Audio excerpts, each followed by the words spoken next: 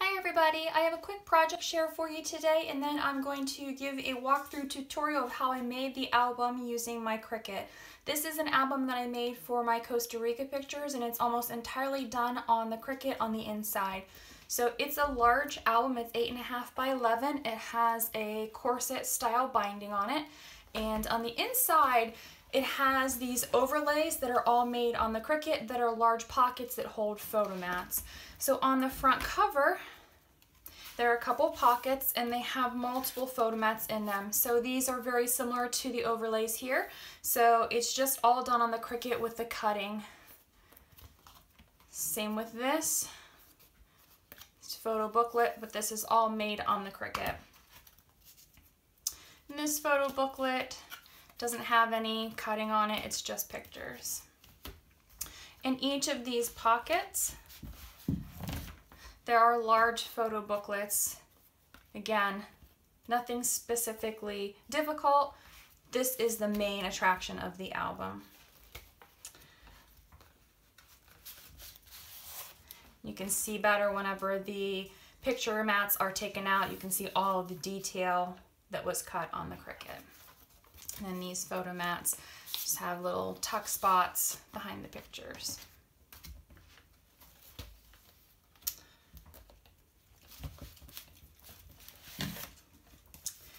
Again, all this is cut out on the Cricut.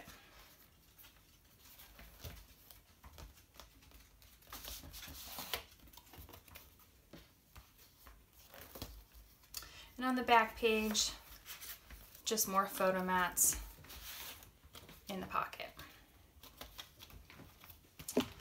The back cover has a policy envelope where I've just tucked a photo booklet made from the paper and then some of the extra photos that I decided not to use in the album. It can hold a lot more. In here you can see it has an accordion style side, so there's a lot of room for extras here.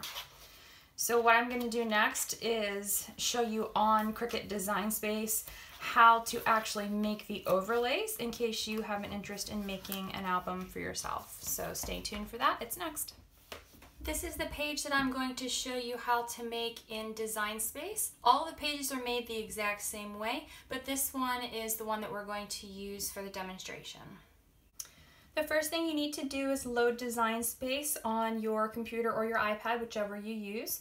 And I've already preloaded the things that we're going to be using, but I'll show you where I got these from. First thing, if you go to Shapes, you're going to click on Square, and you're going to select two squares because you're going to be needing those to make the actual overlay. I'm going to delete these two because I've already got my two squares on the screen. The next thing we're going to do is click on text and we're going to search for the text font that we want. It's called Creative Memories Stork Delivery. So you're going to click on whichever text you want and you're going to type in whatever you want the letters or the headings or the captions to say. I've already done that, so I'm just going to delete that. So I have flowers and I have Costa Rica, and there are two separate text boxes. The next thing you're going to do is go into image. And depending on what you want to make, you can search for it. So I typed in hibiscus for the flower and I selected the image that I wanted and it is this image right here. So I've selected that already and then I went back and typed in tropical flower and I've selected one of the other flowers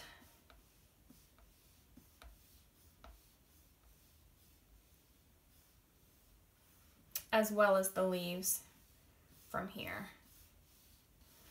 And those are this flower here and these leaves. So what we are going to do next, I'm just going to move these out of the way because we're going to start with these boxes.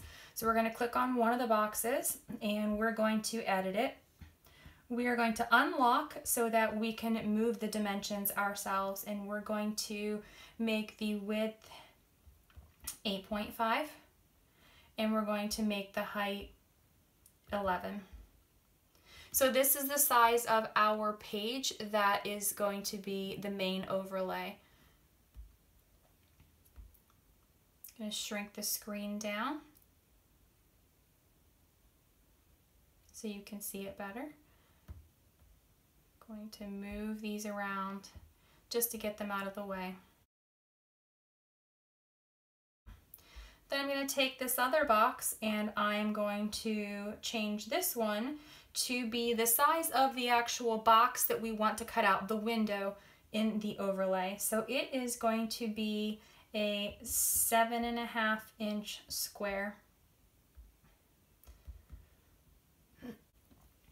Once I have that shape, I am going to change the color of it to make it easier to see.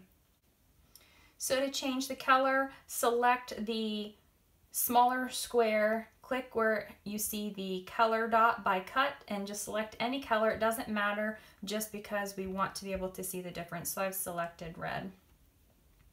You're going to take this square, you're going to send it to the front and we're going to select both of these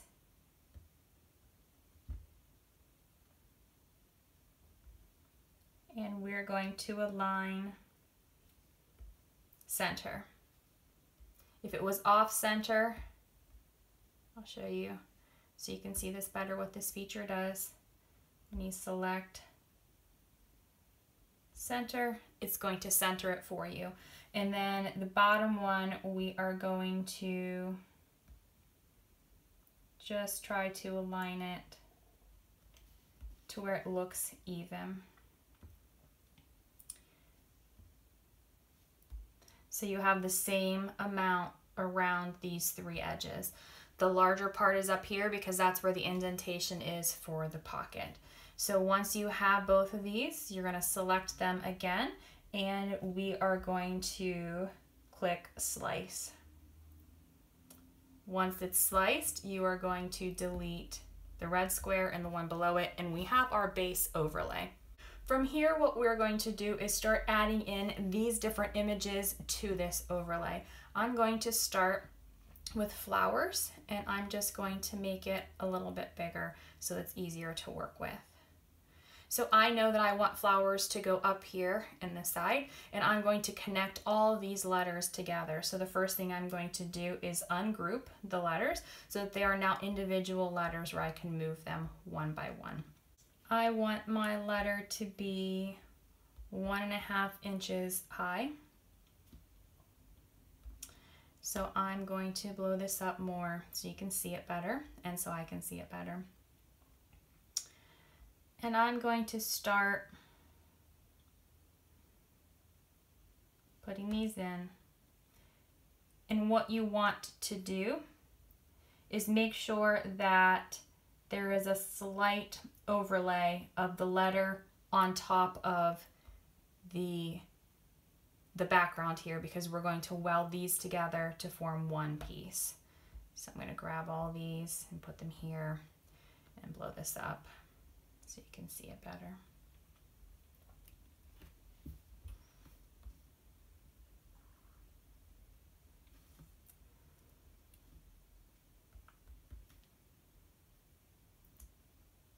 I'm just going to go through one at a time, attaching these.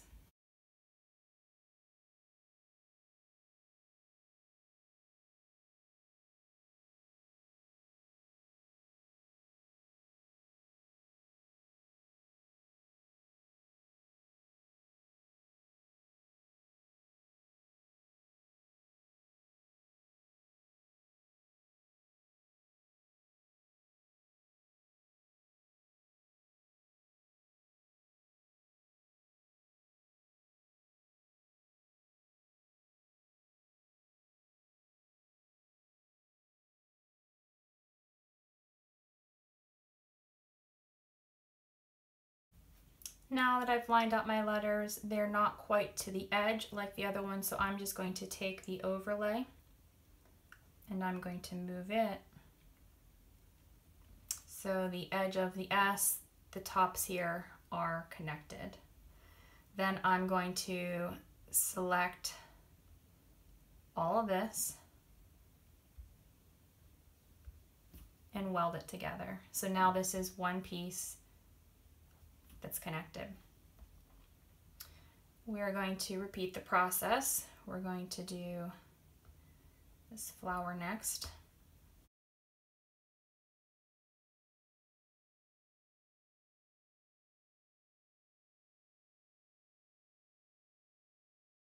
And again, making sure that it's overlapping with the edges and also overlapping with the F for flowers so that it is connected to everything. Once we have these things selected, again, we're going to hit weld. We're going to next put in Costa Rica. So we're going to bring those over.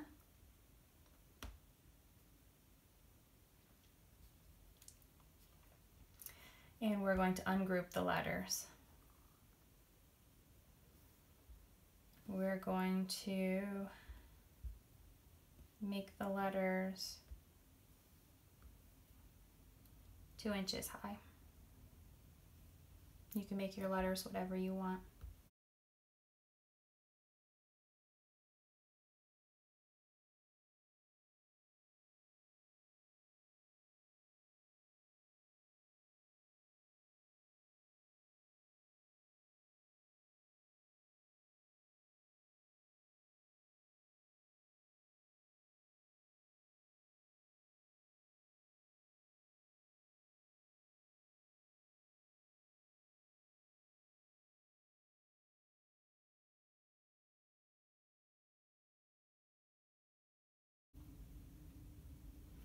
Now this one also has this flower after the A, so it's going to be attached down here. So I'm just going to put it here for now, but I'll probably move it once I'm finished.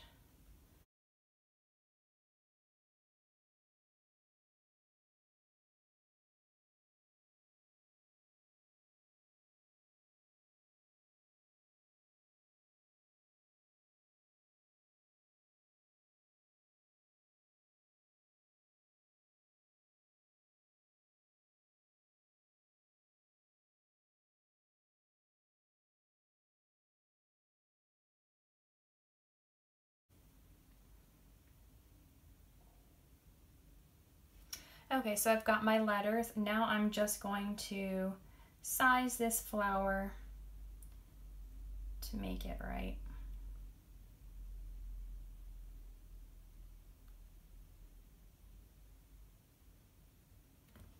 Okay, so what I'm going to do is select all of this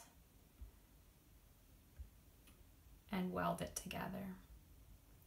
And now what you will see is we have all of the images together. We have one left and we'll do the same thing. So this image is going to connect all of the images together. So it's pretty large.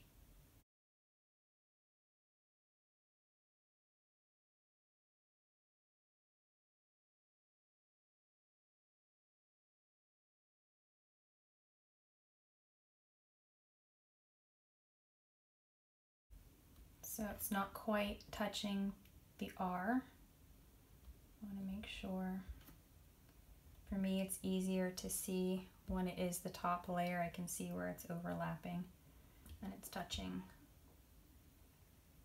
up here, it's touching down here. I want to get it just a little bit more.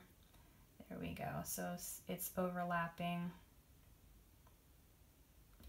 here and here and here and the R. So I'm going to take both of these and weld them together. And now we have one complete overlay. So whenever you cut this, it's going to cut around all of these lines and all this is going to be blank. I placed a piece of acetate behind it so that it made it a, a protective pocket where you can see behind it, but the paper wasn't flimsy. And you can cut this on any color or you can cut it on decorative paper. You can use this with any type of design you want. I've done these with Disney and I've done it with a couple of other things and I think it's a really cute, easy way to add some interesting things into your scrapbooks. I hope you found this tutorial helpful. Let me know if you have any questions.